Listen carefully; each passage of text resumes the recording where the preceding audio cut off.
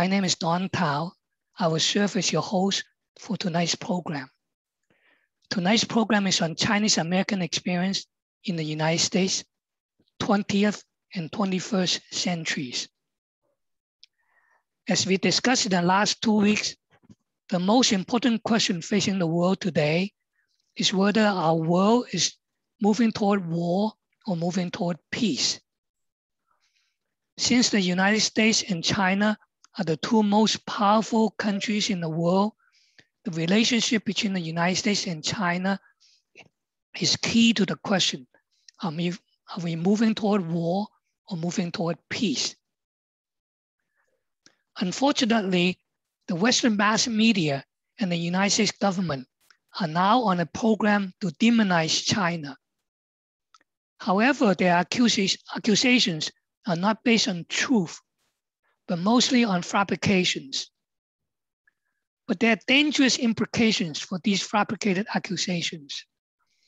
They increase tension between the United States and China and result in serious consequences, which are not good not only for Chinese Americans, but also not good for Americans in general, and also not good for all the citizens of the world. The end result is that crit critical resources will be allocated to the military, military and wars, instead of using those valuable resources to improve our economy, rebuild our crumbling infrastructure, to work on global problems like climate change, pandemic, terrorism, poverty, illiteracy, discrimination, and fight against war and promote peace. Therefore, this demonization of China must not be left unchallenged. Otherwise, we will never achieve our objective of moving the world toward peace. That's why we are organizing a series of educational webinars to help people understand that such demonization of China is not based on truth, and even more importantly, they are not good for Americans and also not good for all the people of the world.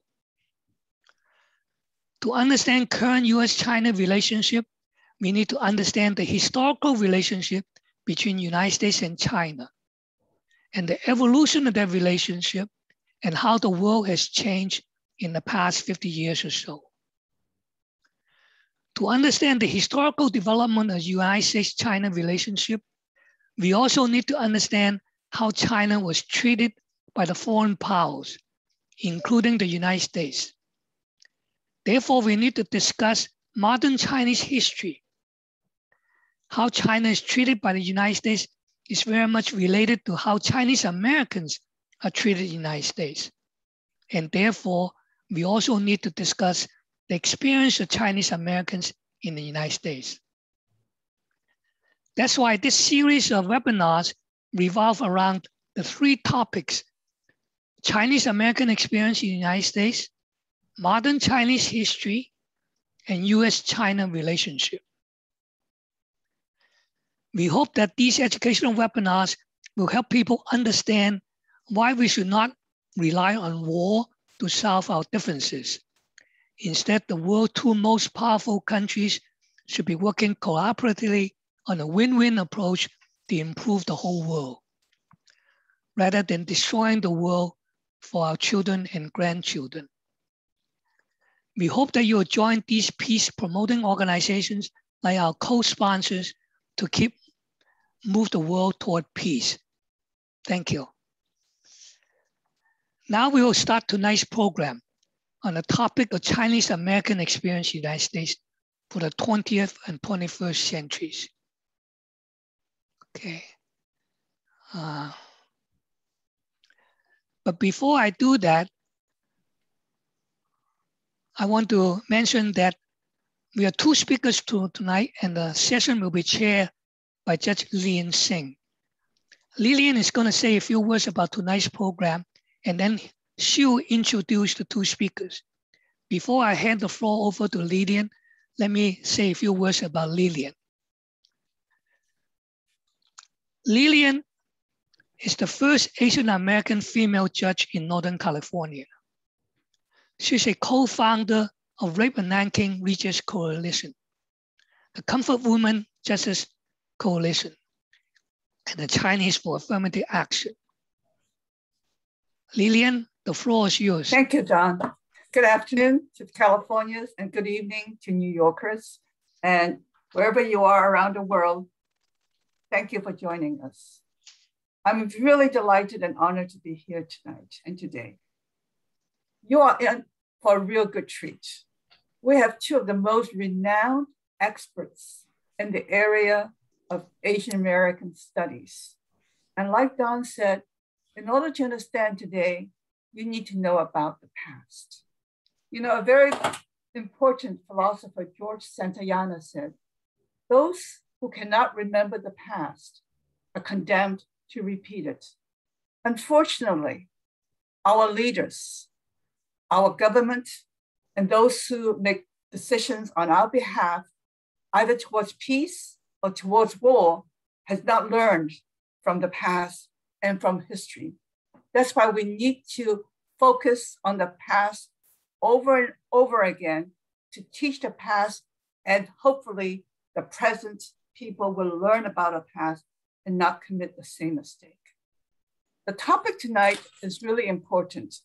And we have two professors, and usually professors are boring lecturers, but I can assure you, tonight's professors are anything but that. I first will introduce Professor Russell Jeung to you. Professor Russell Jeung is with the Asian American Studies at San Francisco State University. He is an author of books and articles on race and religion. He's written Family Sacrifices, The Worldviews and Ethics of Chinese Americans, Oxford Press, Mountain Movers, Student Activism and Emergence of Asian American Studies, At Home and Exile. I think that is probably what is most relevant for tonight's program. Finding Jesus among my ancestors and refugee neighbors. This year, Oh, actually in March 2020, Dr. Jeung co-founded Stop AAPI Hates with Chinese for Affirmative Action and the Asian Pacific Policy and Planning Council. It tracks incidents of COVID-19 discrimination to develop policy interventions and long-term solutions to racism. Dr. Jeung has really made it. He is selected by Time Magazine as one of the top 100 influential persons of 2021. And I don't know of anyone else except the co-founders of AAPI Hate organization who have been selected for social, from the community I'm talking, social activists uh, to be one of the top 100 influential persons of by Time Magazine. He was also awarded the 2021 Webby Award for Social Movement of the Year. So, Dr. Jeung, we're so pleased to be in your presence. You are someone that now I can say I know him. Now I'm going to do uh, Professor Ling Chi Wang. This is a hard one because I've known Ling Chi for over 50 years, five decades. So I don't even know where to start to introduce Professor Ling-Chi Wang. I can tell you from personal experience and from all the work that he's done, he is probably one of the most brilliant persons I know and many other people know. He's like a walking encyclopedia and can tell you anything you want to know about anything not only about Chinese American history, global and local politics, but also about wine, pop, operas, and movies. I bet very few of you know that Ling Chi is a wine connoisseur and loves movies, especially film noir. Unlike some of you may think, Ling Chi is really quite sociable and loves to eat, drink, and be merry. So we're gonna have a good time with Ling Chi tonight. But what I admire the most about Ling Chi is his unwavering passion to help Chinese Americans fight for justice. We all know he started the UCB's Ethnic and Asian American Studies, taught his first ethnic studies class, and chaired the Department of Ethnic Studies. But some of you may not know that his impact at UCB goes way beyond the classrooms and the Ethnic Studies Department. In the late 70s, he observed a disproportionate drop of Asian Americans at UCB. Yes, a drop in enrollment. And he sensed that UCB's admission policies may be setting a ceiling of Asian American enrollment.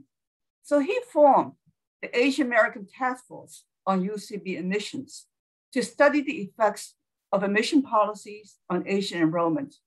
He inspired and persuaded Judge Ken Kawaichi and myself to co-chair the committee.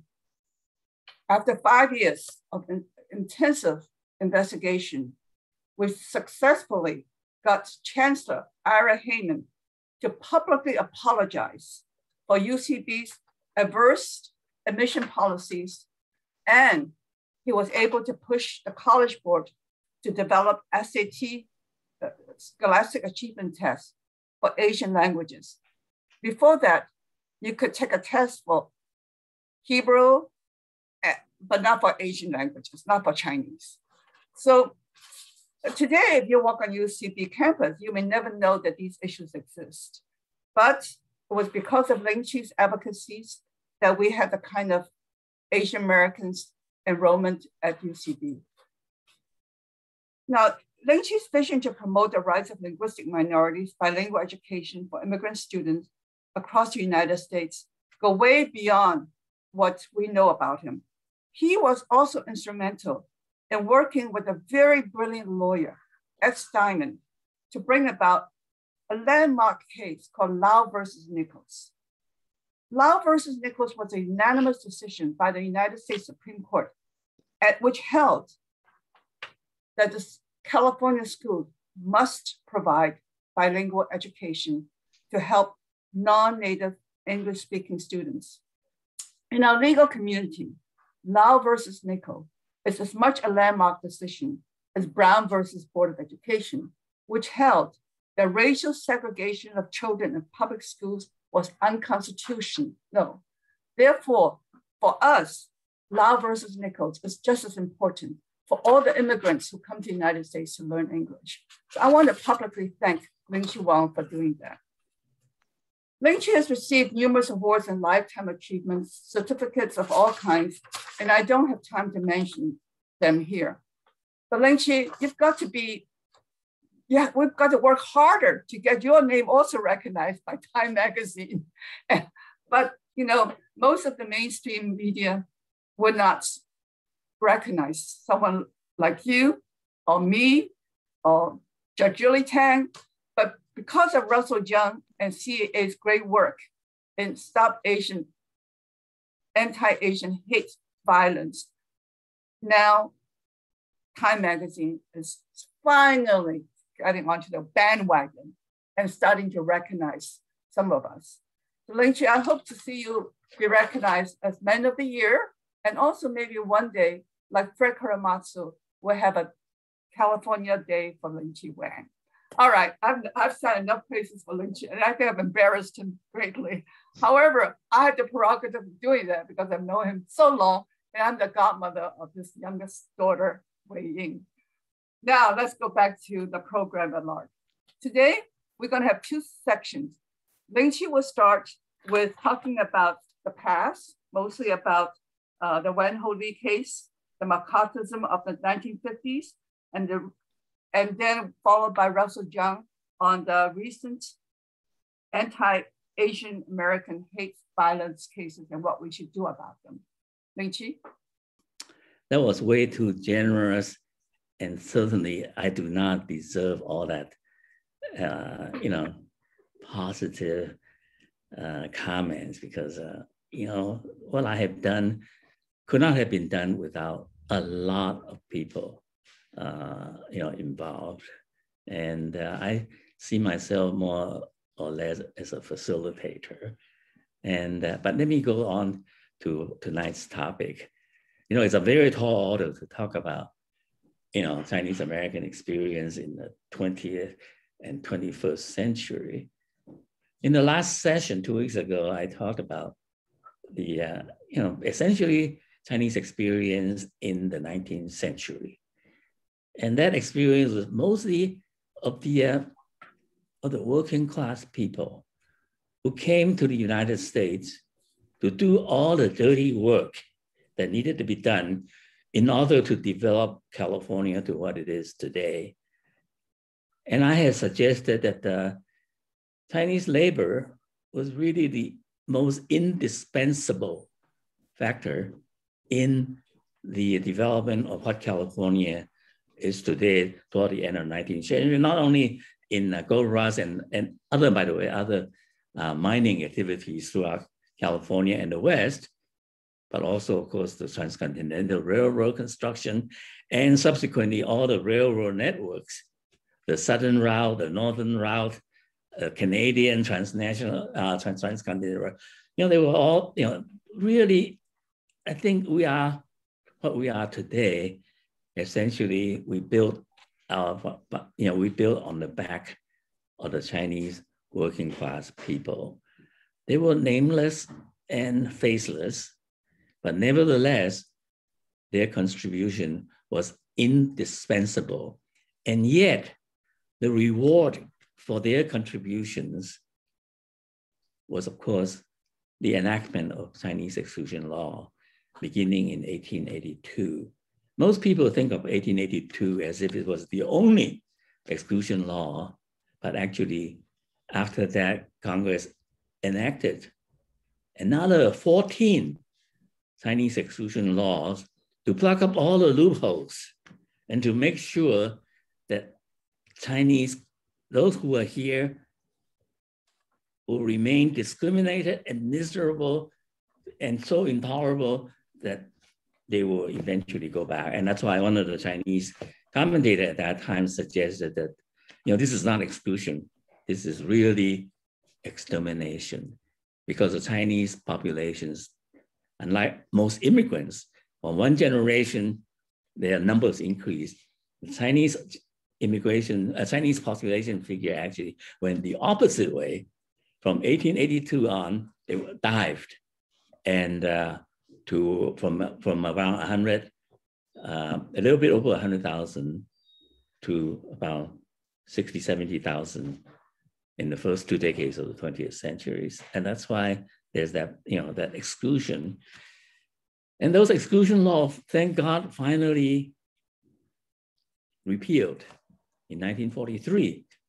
At the height of the uh, Second World War, President Roosevelt needed China to help defeat Japan.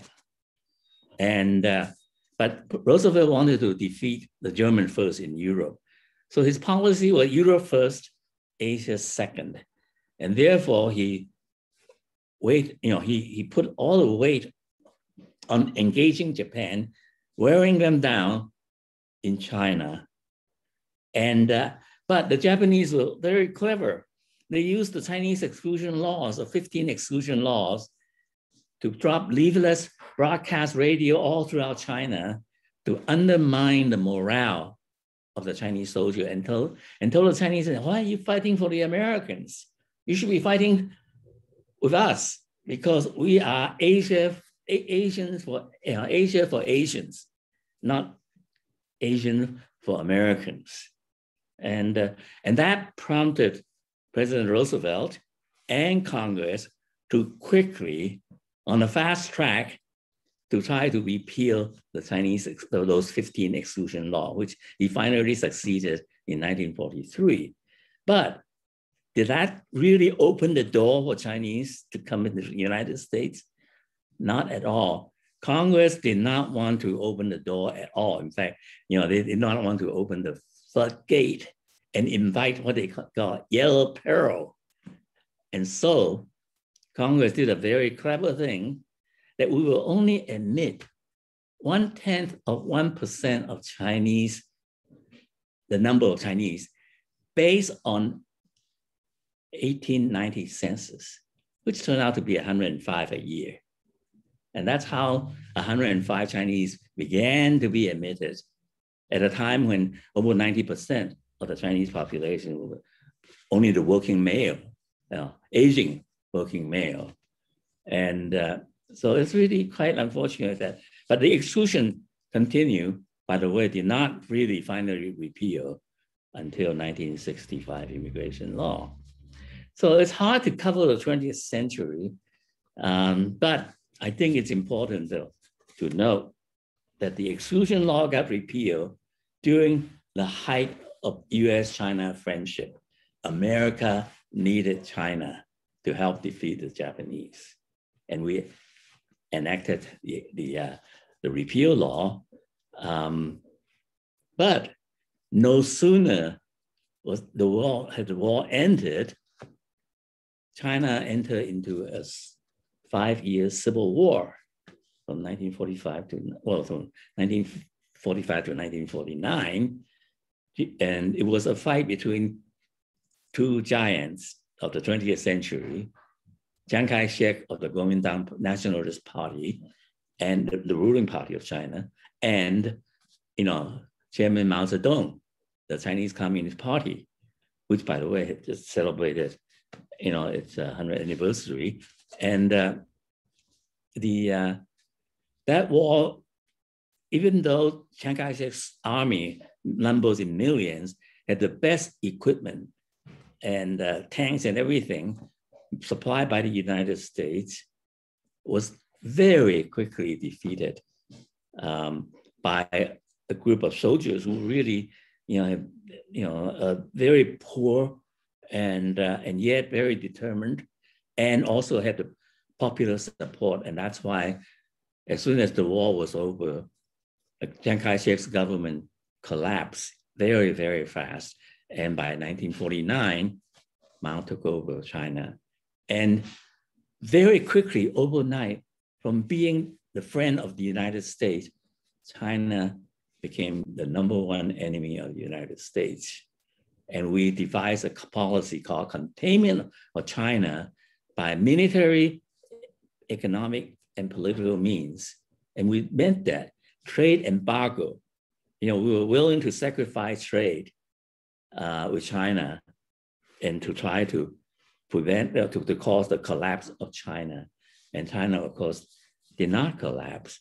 Um, in fact, it's still going very strong.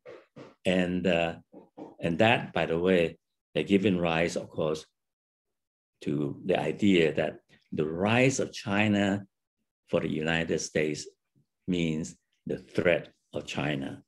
And the state that we are now in is precisely that. But let me go back to uh, history. 20th century uh, Chinese American immigrant that eventually came in, especially after 1965, were not the peasants and the working class people predominantly like the 19th century but actually were very well educated. Now, last time when I talked here, I suggested American foreign policy was based on two very important uh, missions. One is, of course, trade with China, has always been and will continue to be the most important trade partner of the United States, in spite of all that, you know, hostility between the two. You know, China is still the number one trading partner of the United States. And uh, the other major objective of our foreign policy was to convert China by sending Christian missionaries, because we think that the best way to maintain a good relationship with China was to convert Chinese heathenism into Christian Chinese Christianity. And uh, but that policy did not go well at all. Um, and in fact, one of the first people to discover that was none other than the Reverend William Speer of a Presbyterian missionary sent to Canton in the early and uh, in the first half of the 19th century. And while he was there, he got tuberculosis and almost killed him. He came back to to uh, to recuperate, and he successfully recovered in those days was rare. And after he recovered, he told, told the Presbyterian Church that, hey, instead of sending me back to China, why don't you send me to California? San Francisco in particular, because all the Chinese immigrants were coming in, you know, for the gold rush. And it's better to convert the Chinese in California and then to Christianity and then send them back to China so that they could help convert the rest of Chinese population to Christianity and also create the kind of government that we want the Chinese people have to have, like ours. Our type of government is what we want the Chinese to have. And that's those are the two things, mission and trade continue from the founding fathers to this day to be the primary objectives of our, our foreign policy. Now, we of course no longer send missionary. We have the 20th and 21st century missionaries. And these are the people who, who preach human rights, who preach democracy, who preach freedom, who preach uh, organized labor, labor uh, environmental protection. All these are the 21st century American messages. Now the Chinese don't want those, you know, but they want to do it their own way. And why not? China have existed for over 4,000 years, and they have their own way of doing things. Why should we, a newborn country, you know, the whole history of the United States is actually shorter than the Qing dynasty, the last dynasty uh, of, of, the uh, Chinese, uh, you know, dynastic system before, you know, before Dr. Sun Yat-sen, you know, succeeded in overthrowing the Manchu uh, emperor. So, um, and but the missionaries there turned out not to be very successful. They found out that it was more successful to build some hospitals and build some school, and so that the Chinese will become better educated and become good Christians. And even that was not enough because you know Chinese population is over a billion, and uh, so they thought that one of the best way is to bring the Chinese students over from China, educate them in our school, and train them and convert them into Christianity and send them back. And believe it or not, this particular model was very successful. It's been very successful since the, you know, since the 1970s in Taiwan. You know, Taiwan was ruled by Chiang Kai-shek and his son under dictatorship. But eventually, the, you know, the dictatorship, the martial law got repealed.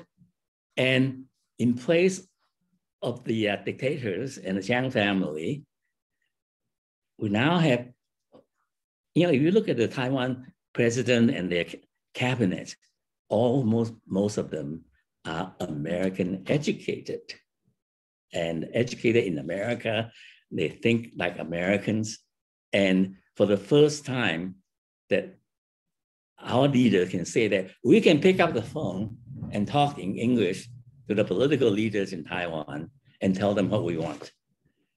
And uh, and so you know, so this is now here's what I was going to say, you know in the in the top topic for today. You notice that our host Don Tow put in uh, people like um, you know Vincent Chin and uh, Wen Ho Lee, um, you know, and most of the people he, he had mentioned before, although not by name, were actually educated in the United States.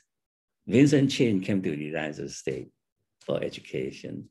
Wen Ho Lee graduated, born and raised and educated in Taiwan, came over to the United States and got his PhD in, uh, in uh, mechanical engineering and uh, and then started working uh, initially uh, for Los Alamos National Laboratory, dealing with the most advanced weapon of the United States, multiple warhead uh, nuclear devices, and uh, you know people like that.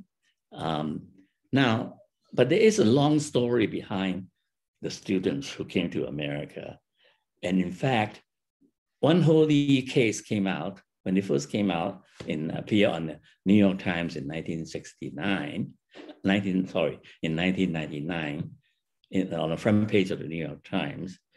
Uh, he was really, you know, not the only one, And in fact, he was very quickly, compared certainly by me, uh, to another Chinese scientist, uh, aeronautic engineer by the name of Qian Xuesen. Most of you, that name means nothing probably, but to, men, to all the Chinese in China, they know who he was. He was considered the father of Chinese rocketry.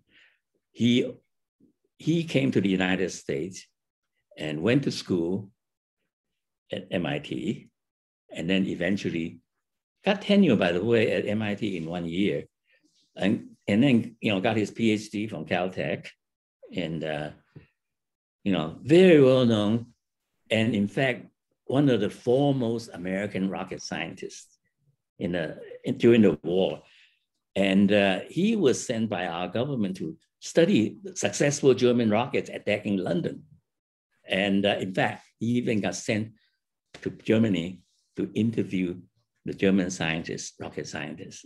So he was a, well, to tell you how important he was to us. Professor, he, Professor yes. Wong, you have so many great stories and so no, interesting. But you. the problem is, it is uh, we need okay. to leave some time for okay. uh, Professor Jeung. Yes. Back to Wen Ho. Sorry. Why is this Sorry case so that. Let me just quickly sum up. Okay. Wen Ho Lee was accused like many Chinese scientists, of being, and including Qian Xuesen in 1950, um, of being a spy, you know, possible spy for China. And of course, and but during the McCarthy era, Professor Qian was accused of being a, a, a, a fellow tra traveler, a communist sympathizer.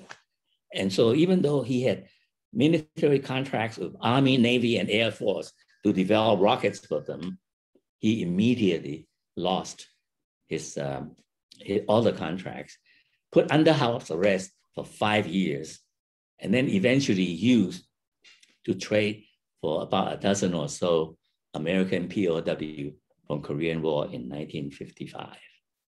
And uh, he was able to do so because of a lawsuit filed by another Chinese scientist who came over to the United States, got his PhD in oceanography. And uh, he wanted to go back to China after 1949, after Mao took over China. And the United States, at that time, there were about four to 5,000 very prominent top tier Chinese scientists in the United States. Uh, they were studying, they were sent over by Chiang Kai-shek to study and then go back to help China modernize. Well, our government decided these two these people are too valuable to be sent back to China, and so they got retained along with the, this rocket scientist Qian Xuesen. And but uh, Mr. Han, um, no Han Li Mao Han Li, who who sued because he wanted to go back, and he successfully challenging American government's ability to retain them, even though they wanted to exclude Chinese to be at that time still, and yet they wanted and should be deported, but they would not let them go back. So he successfully challenged that uh, policy, and he was eventually he won. And as a result of that, we used Chen to negotiate for the three prisoner exchange with the POW from Korean War. So you could see that you know we have good ideas about allowing China to send a lot of people here to become trained by the United States and then send them back to gradually to change China. But the problem is that we always manage to shoot our own feet, just like what we are doing now with our dealings with China. We did that during the McCarthy era, put all the Chinese American under suspicion. Being Chinese American became synonymous with espionage and treason. I think and that's a, lot a very good point. And deported because of that. And they use INS, use IRS, use CIA.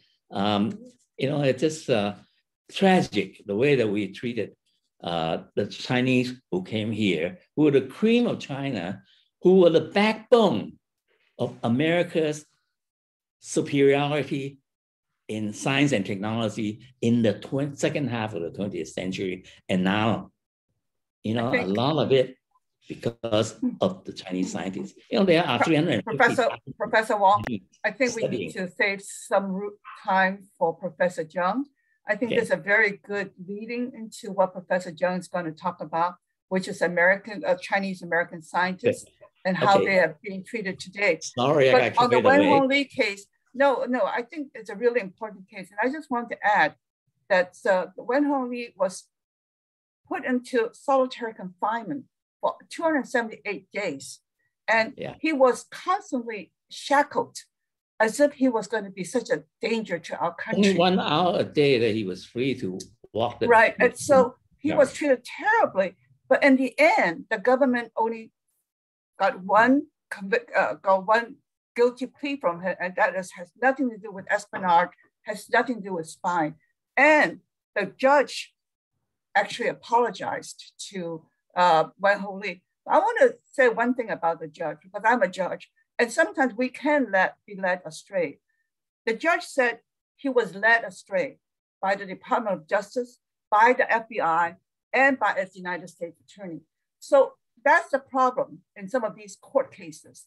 Just like Fred Korematsu's conviction, when Marilyn Patel granted his petition for coram nobis because the government was uh, misled and was led astray. So, Russell, maybe you can tell us now about how the government is leading astray not only um, us, the public, but Biden, the administration, in bringing about this China initiative, in charging all these Chinese scientists who are just as brilliant as the ones that Professor Ling-Chi Wang just mentioned. And what, what are we doing to them? How are we treating them, and what does that effect do to our government and the US-China relationship? Professor Jeung? Thanks, uh, Judge Sing. and thank you, Professor Wong, um, for giving us that history about the yellow peril fear. Uh, both workers were seen to threaten white workers' jobs, and now um, Chinese scientists are seen to be um, agents of espionage and threatening America by stealing um, national security secrets um, and um, technology secrets. So if we know our history, um, we're seeing history repeat itself, like Judge Sing um, just said right now. Even today in 2021, the exact same pattern is continuing. And I'm going to explain quickly in maybe seven minutes of what's happening currently where we see history repeating itself. So I'll just um, share a screen here. Um, in the last two sessions, we've learned about the consequences of the yellow peril and um, how that's led to anti-Asian hate. And for me, um, there have been two main sources of this racism and two main impacts. The first source of the um, racism is a perpetual foreigner stereotyping uh, that Chinese and Asians don't belong, we're unassimilable, we're disease ridden, um, and we're because we're Orientals, we're exotic and different. Because of that stereotype that we're outsiders who don't belong, we see this current surge of racism today. And as an example, we have Bawi Cung and his son who were slashed in Texas because they were seen to be Chinese and to have brought COVID 19. Bawi isn't even um, Chinese, but he's a refugee from Burma. And yet he is perceived as being Chinese, as an outsider with a disease, and therefore to be excluded, like um, Professor Wong, not even excluded, but the policy of extermination. So they tried to kill him. So this perpetual foreigner stereotype is one source of racism that we're, we as Asians are seen as outsiders who don't belong. The second source of racism that we're seeing today that we've been talking about in this series is how US-China relations um, and how China is perceived as a nation um, has led to institutionalized exclusionary policies um, even today. And example is Professor um, uh, Chen here, who is an MIT professor and arrested for um, fraud. And so I'll quickly give you the policies that have been um, creating this sort of state of yellow peril and having a chilling effect, especially on Chinese scientists first. Um, so what happened to Wen Ho Lee, um, being arrested, being suspected as being a spy, happened to Professor Xi Xiaoxing in Temple University. And then um, it continued. And actually, that policy of investigating Chinese in particular um, was actually made formal in the Department of Justice China Initiative in 2018.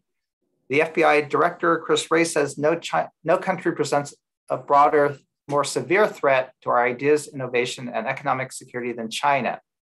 And so it's just named the China Initiative and clearly racially profiles Chinese. It has an overreach effect.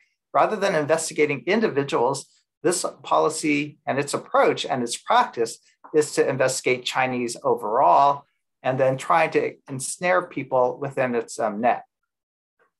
Its ostensible goals are to identify trade um, secret theft, um, to have an enforcement strategy concerning non traditional collectors of um, information. That includes especially researchers and scientists. So they are focusing on researchers and scientists, um, trying to focus on um, trade. They also focus on the university level. And so, given these goals and given this fear, this yellow peril fear, um, the FBI has been surveilling um, Chinese Americans in particular, throwing a wide net looking for um, theft or um, both of um, technology or um, weaponry. Unfortunately, what's happened is that there were a lot of, like Wen Ho Lee, a lot of false positives. They believe these Chinese scientists are um, espionage agents, but the false positive is that they're wrong and they deprive these Chinese Americans of their civil rights, um, ruin actually their finances, ruin their careers, careers, traumatize their families. So Professor Xi Xiaoxing here, again, he was arrested um, and for eight months, um, all charges were dropped. So again, it was a spurious case. It happened to Professor Anming Hu. Um, they investigated him for two years, surveilled him, and they finally um, they arrest him as uh, for fraud. But again, um, that case gets dismissed in a day. So they're looking for espionage and trade secrets, but they can't find any. So instead, they're arresting Chinese scientists for fraud. That's what happened to Professor Xi. That's what happened to Professor Hu. So currently, after three years of this type of initiative investigating thousands of Chinese Americans and Chinese researchers, um, this initiative has resulted in only 61 cases, and five of them are the ones that deal with actual economic espionage. Instead, most of the cases deal with fraud, and um, they're, what they're doing is they're catching Chinese uh, on minor um, declaration purposes of how they have to disclose conflict of interest or disclose um, financial information and, ca- and arresting them for that reason. Because they're arresting people for that, um, 85 Chinese have lost their work. Um, again, they were innocent. These are minor infractions, yet they're losing their careers and their work. Um, and again, that type of um, policy has led to a really a real chilling effect on the um, scientific community. In fact, um, again, these cases are really spurious. There's a clear overreach of the Justice Department, and they actually dropped five cases. They've arrested them, yet had to drop them because they don't have any real evidence. So, this is a concrete case of institutionalized racial profiling. It's in the name. The Department of Justice is um, employing the China Initiative to surveil Chinese scientists and researchers, to arrest them on minor charges, oftentimes trumped up charges. And it's again um, leading to the loss of civil rights um, and the careers of these Chinese scientists. At the same time, we know that the political rhetoric um, not only has been institutionalized, but it's um, bashing China, um, like Judge Sing says, has led to the bashing of Chinese people and those who look Chinese. So we at Stop AAPI Hate have received over 9,000 incidents of racism in the past year. And um, it's clearly our numbers are just a fraction of what's happening. Um, the Pew Research Center said 45% of Asian Americans have experienced racism um, in the last year during COVID 19. So I'll wrap up here. It's clear the yellow peril um, threat has been operationalized and institutionalized yet again. History has repeated itself both in governmental policies and in the interpersonal violence that Asian Americans are facing at the moment. Um, fortunately, um, to wrap up, history is repeating itself in that we've learned from history, we as Asian Americans, and we know that in every instance of discrimination, Asians have always fought back, right? We fought back during Chinese exclusion and engaged in civil disobedience. We fought for um, redress and reparations after Japanese American incarcerations. Um, we fought against um, 9 11 detentions and deportations. And today, I really see the Asian American community really learning from um, the Third World Liberation Front and the San Francisco State Strike, learning from um, what we've done at the I Hotel and uh, with uh, Lau versus Nichols, working and building institutions like CAA. So um, having that organizational background, um, network, having a knowledge of our history, we've been really able to mobilize at this moment. So I could talk more about that. But thanks. Thank you, Professor Jeung, very much for being able to uh, summarize so quickly all these important factors that are uh, happening today. Um, nobody mentioned about the Vincent Chin case, so I'm going to take the prerogative of the moderator and just briefly mention that he was killed, murdered by two white men because they think he was he was a Japanese who was responsible for the auto industry's problem and the economy.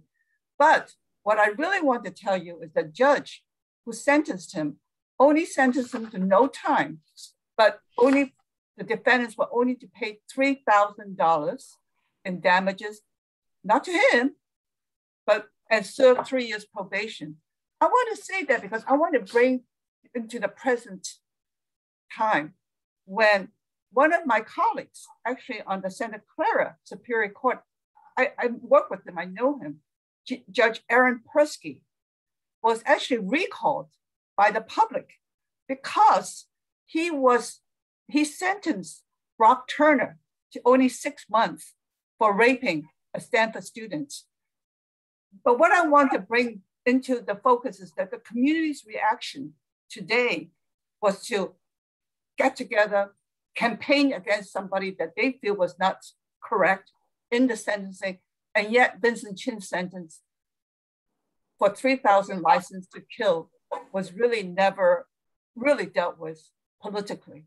So that's a disparity of what's happening today from the past. And I think we need to mobilize our efforts and become more active and more action oriented. Now I'm going to turn to the questions from the audience and see what questions we have. There's one excellent question. You know, a lot of what we learned today is from the media. And what we hear is from the media. It shapes our minds, it shapes our thinking, it shapes policies in the country. So one of the viewers asked this question How do we hold the media accountable for the misinformation and demonization of China. Dr. J uh, uh, would you like to pr proceed? Professor? Yeah, Professor Jeung. Okay. Um, yeah, holding the media accountable um, for how they um, write about or represent China is really key. And so um, the Asian Pacific American Congressional Caucus, they actually created and sent out guidelines of how both elected officials and the media should talk about China during this period of the US China Cold War.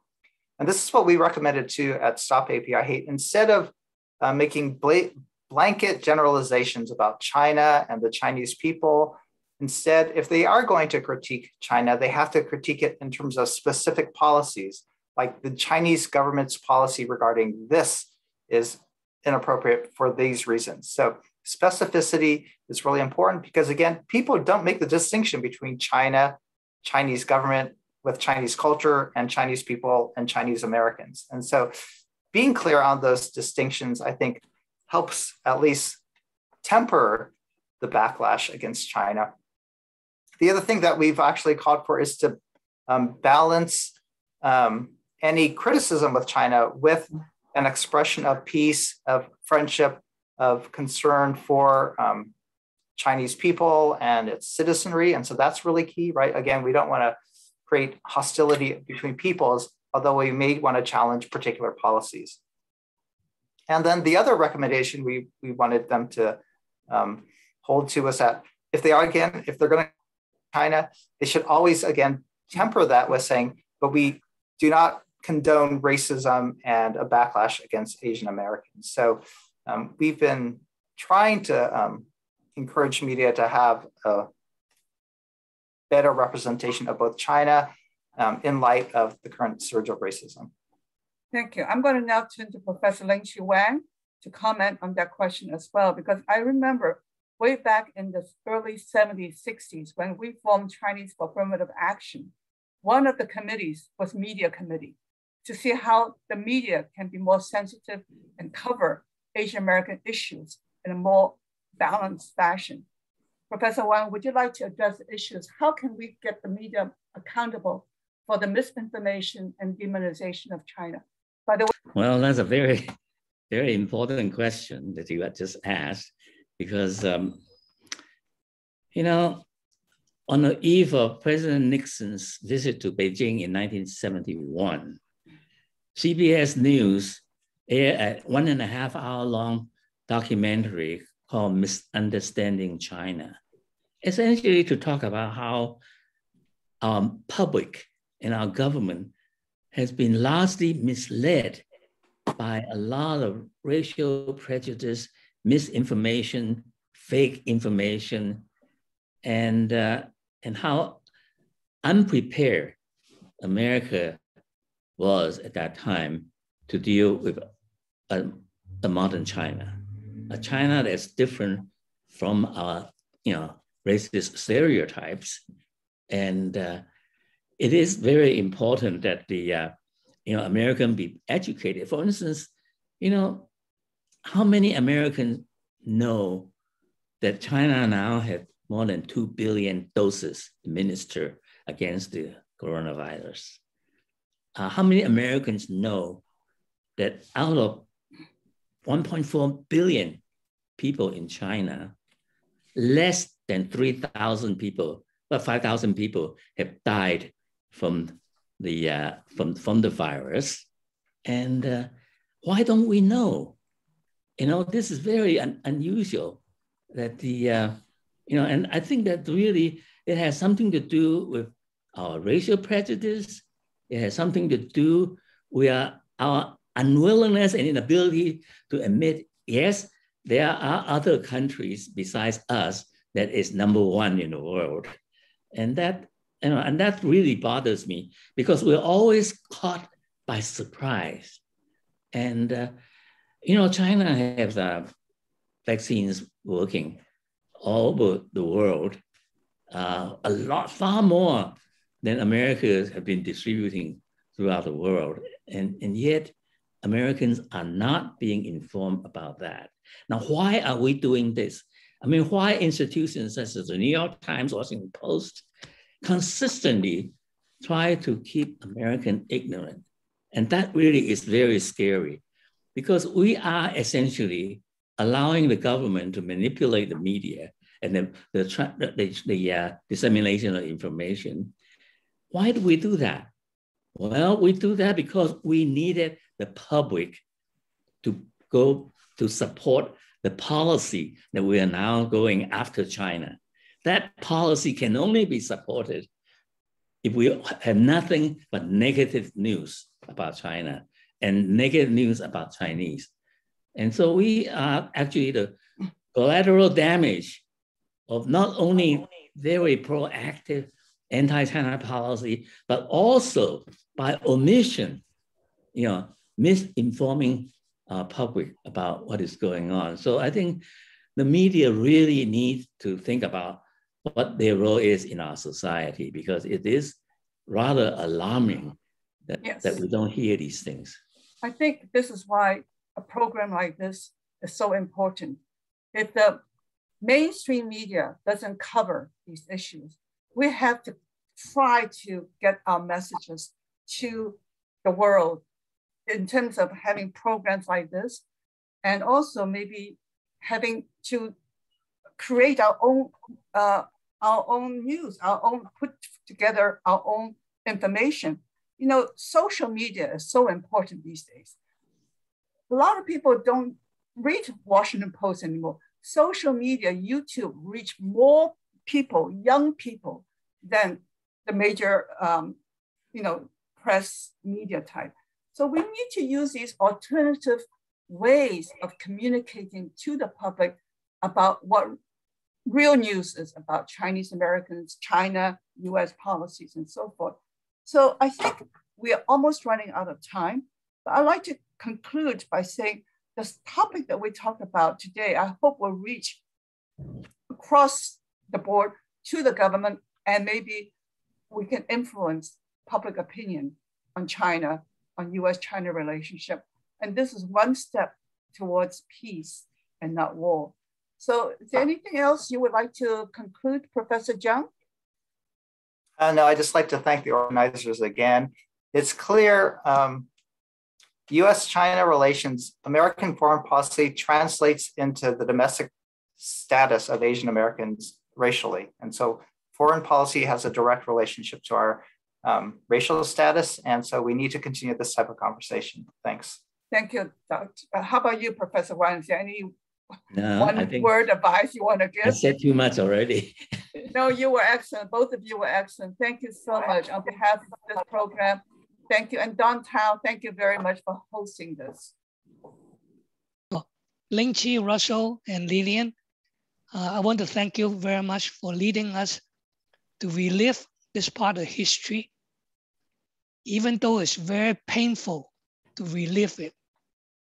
But in doing so, if but if doing so can help others as well as us to understand that the injustices inflicted on Chinese Americans during the last two centuries are un-American and contrary to what this country is supposed to stand for and what this country wants to be. We want to emphasize that standing up for our rights is the true spirit of American democracy. And that stopping such fabricated demonization of China is what true Americans should do and should be applauded for doing so. In the last minute, I just want to show you what's coming next week and also the following five seminars after next week. So I want to show you one screen. Can you see my screen, upcoming webinars? Yes. Okay. Next week, we're going to start two sessions on modern Chinese history. So next week and the following week, Professor Ken Hammond will speak on modern Chinese history. Next week is on the 19th century, and the following week is on the 20th century. And then on October 27th, Julie Tang will talk, give a talk on Hong Kong, and I'll give a talk on Xinjiang.